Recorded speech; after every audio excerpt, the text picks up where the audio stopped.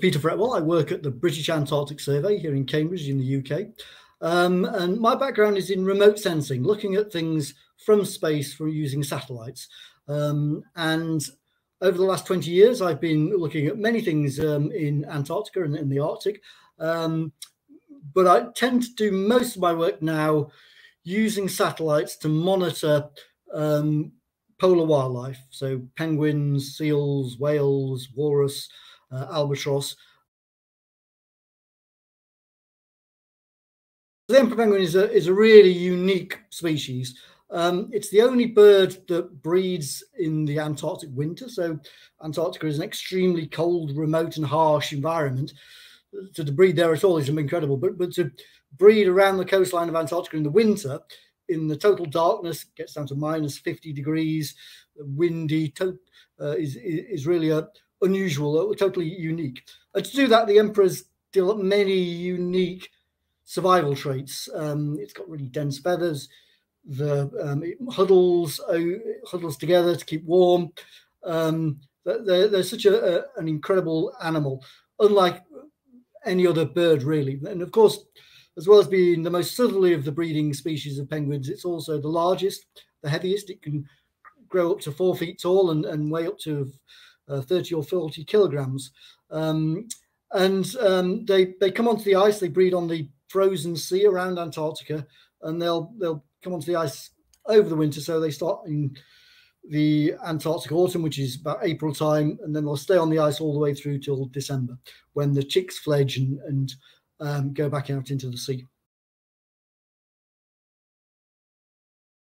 To have a successful breeding season, um, the emperors need to raise their chicks and, and they they breed on the sea ice, the frozen sea, and, and it needs to stay stable until the chicks lose their little fluffy downy feathers and get their sleek black and white waterproof feathers, which tends to happen sometime in mid to end of December.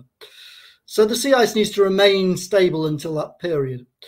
Last year, we had one of the worst sea ice years. Well, we had the worst sea ice year on record in December in, in Antarctica. Uh, and in many colonies, the sea ice broke up before the chicks fledged.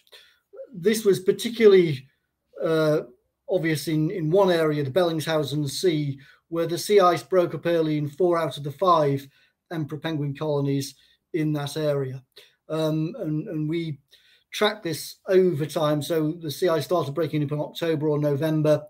And for four out of five of those colonies, all of the sea ice had gone before even December so well before the fledging period of the chicks. We estimate then that if there's no sea ice there, then the chicks will go into the water, and that means that we'll have total breeding failure. Well, one breeding year is bad, but it's not an absolute disaster. We do have occasional bad breeding years. We rarely have them on a regional basis where a whole region is taken out. But the problem is now that we're seeing this um, again and again. So 2021 was bad, 2022 was worse. It may be that 2023 is going to be worse still because we're looking at a sea ice extent which is much worse than we've ever seen before. The the breeding success of emperor penguins is, is really tied to how much sea ice there is.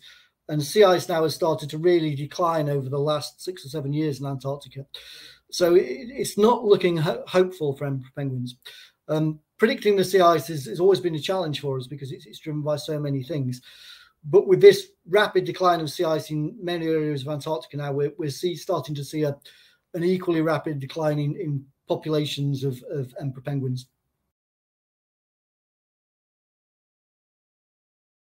I started at British Antarctic Survey as a, as a cartographer, as mapping, and then I got into um, GIS and, and, remote sensing and satellite imagery but for me, the breakthrough to I was always interested in the science um, and scientific mapping. The breakthrough to get into this side of um, the sort of science was was that we I accidentally discovered that we could see emperor penguins in Landsat imagery. That's a quite coarse imagery by looking at their poo stains, the brown stains of the guano on the ice. Uh, this was freely available imagery. Nobody um, nobody ever seen it before. Um, this meant that we could actually look and find where the emperor penguins were. At the time, we didn't know how many colonies there were or whereabouts the distribution was. So this was really game changing. And over the last 15 years or so, we've been around Antarctica and we've actually found double the number of colonies that we previously thought there were and, and doubled the known population as well. So it's been a really um, interesting and, and uh, personal journey for me with, with emperor penguins.